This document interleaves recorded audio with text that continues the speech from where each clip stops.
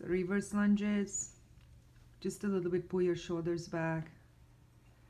Weight on the right heel as you drop down. Remember to keep that left toes forward. Just pigeon toe a little bit, yeah. And push with the right heel up, squeeze the right glute. You're going back and down.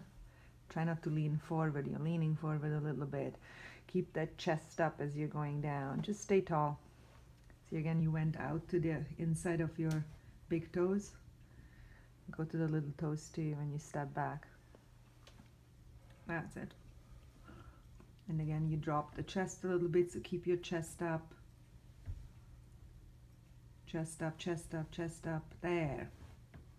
And then pick up that leg, the back leg, when you're coming forward. Don't slide it on the ground.